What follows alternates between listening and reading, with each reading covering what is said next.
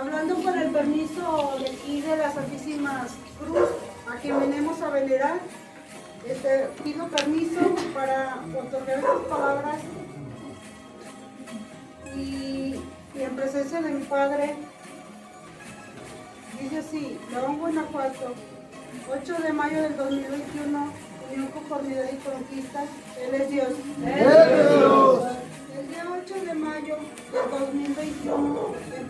de grandes jefes, generales, capitanes, representantes de mesa, representantes de altares, jefas, capitanas, soldados y malinches, los herederos de la Mesa Central General de León, Guanajuato, en la palabra del Señor San Agustín y la Santísima Cruz, le otorgan el nombramiento como capitán general al señor José de Jesús Caudillo Malacara, siguiendo con la tradición de danza de conquista, el señor José Carmelo Aguilar Espinosa, capitán de danza de conquista, que representa la mesa del señor San Francisco de Asís, de Pozos, San Luis Potosí. Un bastón de mando que simboliza autoridad y mando sobre un grupo de danza y también simboliza la, la jerarquía de la herencia que le dejaron sus abuelos. Él es Dios.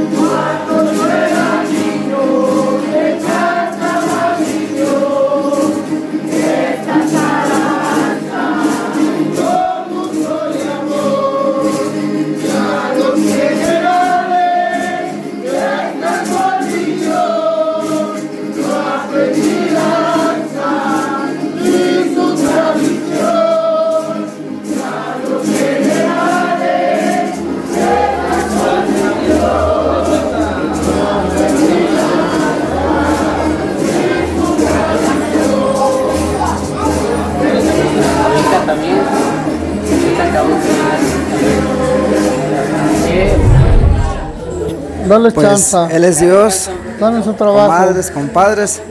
Nos encontramos en un bello estado, aquí en Guanajuato, en su capital León, en el altar del Señor San Agustín, en donde el día de hoy veneramos a la Santa Cruz, altar fundada por la familia Caudillo, de gran historia, de gran linaje aquí en el estado de León, Guanajuato.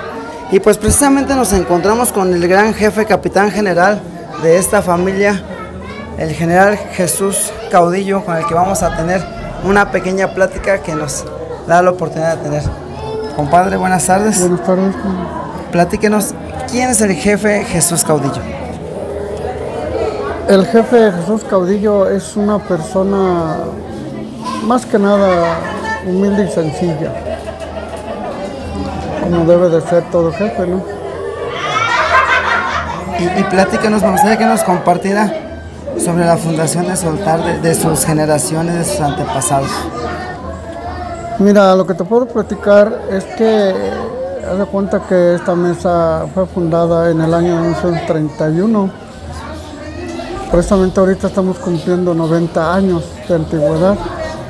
Esta mesa fue fundada por, por mi abuelo, José Soledad Caudillo, en compañía de sus tres hijos, Trinidad Caudillo, Jesús Caudillo y Melquiades Caudillo.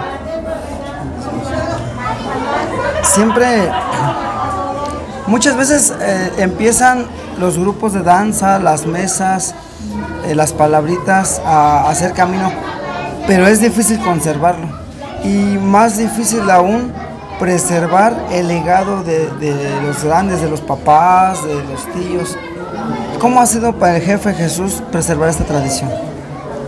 Pues para mí, la pregunta que me haces, para mí ha sido, ha sido difícil, porque tener una continuidad en, en una mesa eh, cuesta mucho trabajo llevarla. Tenemos que tener el apoyo de los hijos, de la familia, para poder tener una continuidad. Y si no hay esa continuidad, no se puede hacer nada. Eh, sí, entiendo que es bien complicado. Y aparte, jefe Jesús, su conquista, su conformidad, se nota, para quien lo puede vivir al lado de usted, se nota el cariño que le tiene.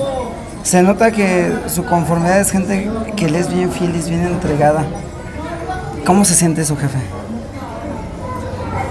Pues mira, en lo, en lo personal yo he sentido, he sentido dentro de mi familia y dentro de las conquistas que sí, sí hay gente, hay gente buena, hay gente sencilla, hay gente que te aprecia, hay gente que te, eso, que te aprecia y la verdad sí, sí, sí me siento a gusto a veces con conquistas que tenemos.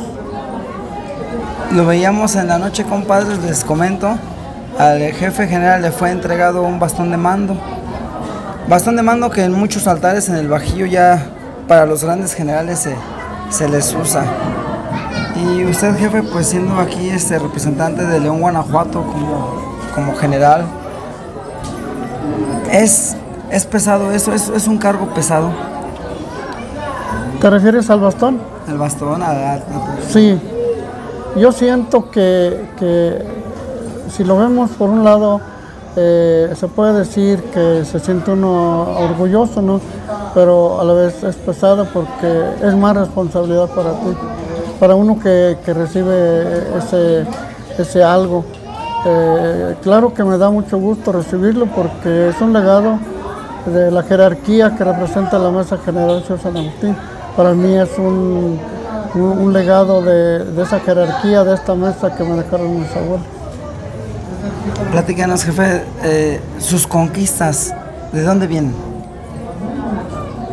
Mis conquistas, mis conquistas nacen, nacen en Guanajuato con los Oliva, Gracias.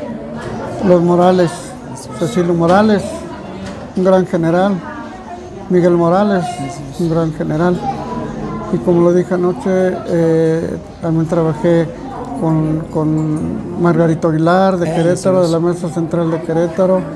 Todos los Aguilares me tocó trabajar porque yo, yo inicié eh, a muy temprana edad y, tuve la satisfacción de, de conocer grandes jefes. ¿Habrá alguna anécdota, compadre, de esos viajes de que le tocó hacer? De, es- de- una anécdota de esas que deja la danza de enseñanza. Pues mira, anécdotas. eh, tengo una que no me gusta platicarla, porque no me la van a creer.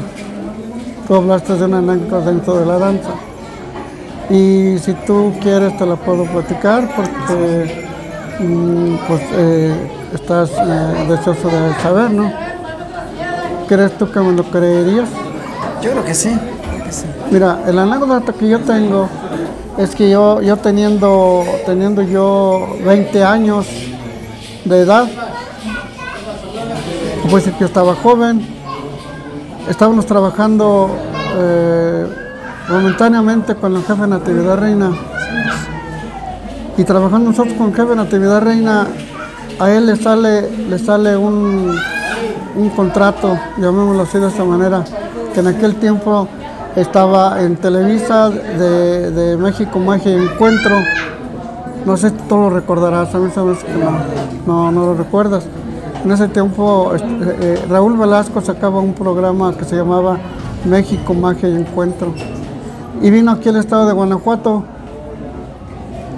Y pues la verdad, eh, él se fijó en, en nosotros. Digo yo nosotros porque era un grupito pequeño y, y le manda a avisar a mi tío Mercades.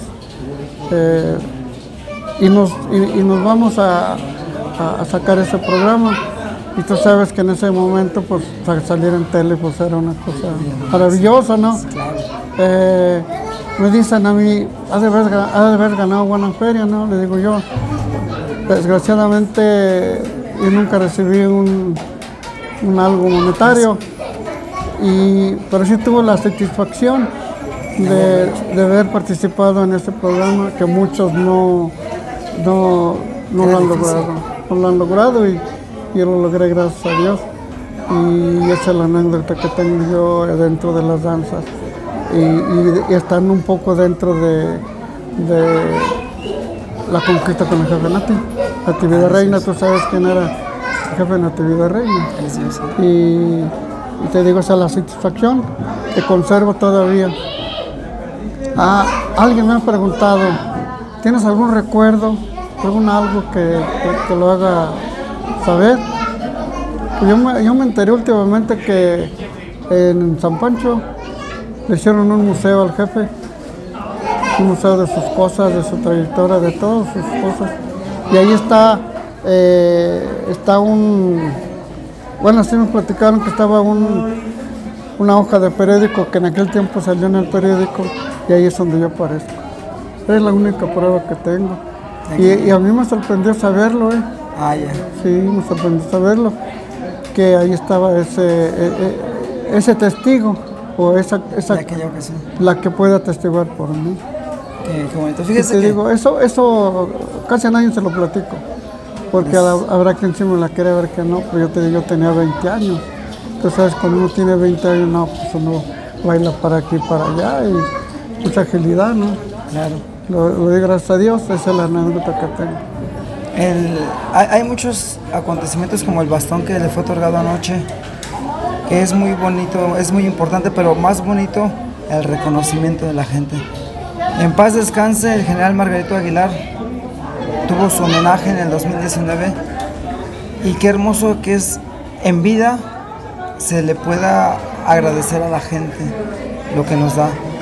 Gente como usted, gente como el general Margarito, que, que son punta de lanza para mucha, mucha juventud, para otros que ya no estamos tan jóvenes, pero que vamos atrás de ustedes viéndolos, aprendiéndolos.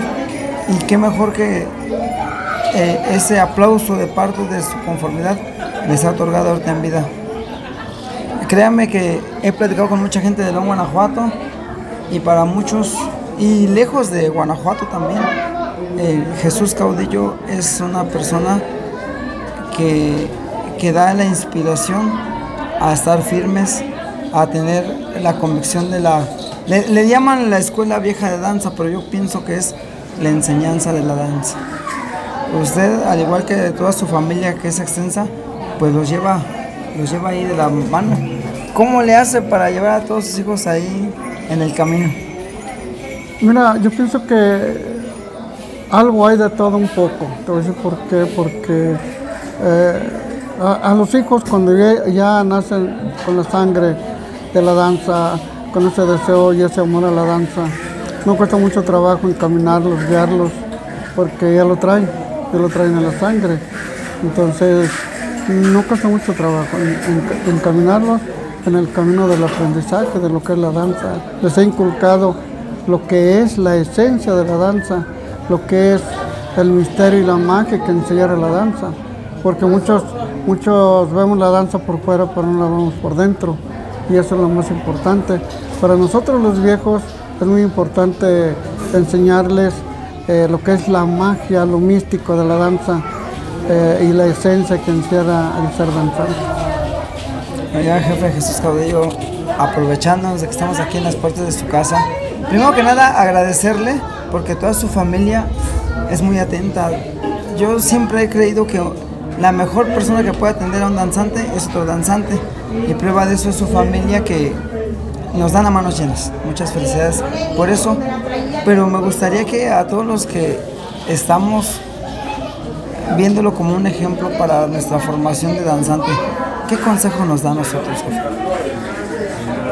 Fíjate que es difícil dar un consejo, pero no tanto. ¿Por qué? Te voy a decir por qué. Porque el dar un consejo como yo, como de lo que represento, es decir, cuando es uno danzante o quiere ser uno danzante, tiene que salir del corazón, tiene que salir del espíritu, tiene que salir de muchas cosas, porque si no, no se conjuga eh, ese misterio que hay entre, la, entre el danzante y, lo que es la danza. Y si no, y si no lo haces, no te lleva a nada. Entonces tenemos que tener ese algo que nos lleve a, a sentirla, amarla, sentirla y amar la danza, porque si no, pues no somos nadie. Pues Él es Dios, jefe Jesús Caudillo.